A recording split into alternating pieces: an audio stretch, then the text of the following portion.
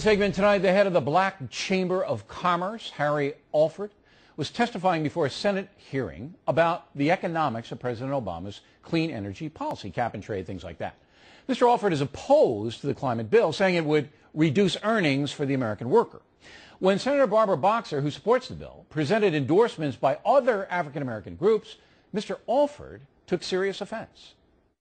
We'll quote John Grant, who is the CEO of 100 Black Men of Atlanta, quote, Clean energy is the key that will unlock millions of jobs, and the NAACP's support is vital to ensuring that those jobs help to rebuild urban areas. So clearly there's a diversity. Madam Chair, that is condescending to me. I, well, I'm the National Black Chamber of Commerce, this, this, and you're trying to put up some other this, black group if this gentleman, against me. If this, if this gentleman, if this gentleman were here, he would be proud that he was being quoted. Just he, that he, he should have been invited. Just as he would be proud. It is condescending just to me. So, just so you know, he would be proud that you were here. He's proud, I'm sure, proud, that proud. I am quoting that, him. All that's condescending, and well, I, I, don't like it. It's racial. What's I racial? don't like it. Excuse me, I sir. take a I take offense to it. Okay. As an African American and a veteran of this country, I take offense to that. Offense at the fact that I would quote. You're, you're quoting some other black man. Why don't you quote some other no. Asian or somebody? Well, I mean, me, what? You be are being clear. racial here. All right. Now, Senator Boxer would not appear, but joining us from Washington is Harry Alford. Before we get to the racial aspect of this, why do you object to the climate industry that President Obama is wants to build and uh, Senator Boxer supports? Why do you object to it? Well, certainly I want a good, clean climate for the globe, but we want, and the National Black Chamber of Commerce has been espousing an energy policy that will make the United States self-sufficient, self-sufficient for its energy needs, and also to deliver energy to American families and businesses at an affordable rate. At the same time, help clean up the environment and keep our position economically in the world. All right, but they say cap and trade and uh, all the green windmill stuff and, and all the stuff that they want to do will create more jobs, will help all Americans, including African Americans, and you seem to object to their point of view. Well, we, we got the Charles Rivers Associates group to do a study for us. Uh, they're a very reputable group, and it showed that in the end, if this cap and trade hustle were to be delivered to the American people, in the end, we would have 2.3 million less jobs than we do now. It, it, it does not make sense to have less jobs, higher cost of energy, and still the world is in the same predicament uh, All right, carbon so your position kind of mirrors my position. Um, it's interesting. Now, you're not an ideological group, the Chamber of Commerce, right? I mean, you're just a business Nonpartisan, group. nonpartisan, not-for-profit. Okay. We espouse capitalism and entrepreneurship. Okay. So now you're presenting your objection, which I think is an absolutely valid objection. To the cap and trade, you call it a hustle. I call it cap and con. So we're pretty much on the same page. And Boxer, in order to debate you, puts up the NAACP, a liberal group, who thinks that cap and trade and the other green industries is just terrific. Now, you say that's a racial deal. Explain that further.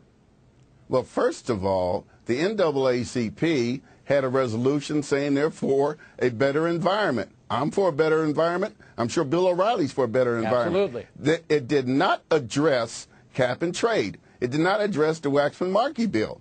And her, with her usual embellishments, is trying to make this seem like it was a, uh, something supporting the Waxman-Markey bill. It was not.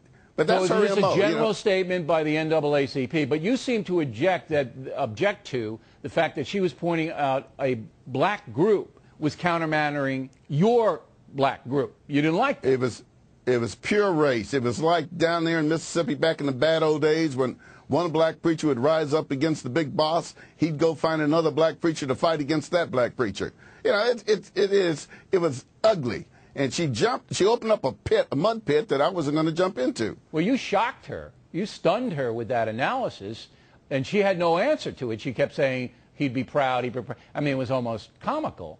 But you stunned her because I don't think, Mr. Alford, and maybe you see it differently, I don't think Ms. Boxer had any intent to bring racism into the debate. She just wanted to win the argument and said, well, look, I'll use the NAACP, I'll take it out of context to throw the guy off his game. I think that's what she was doing.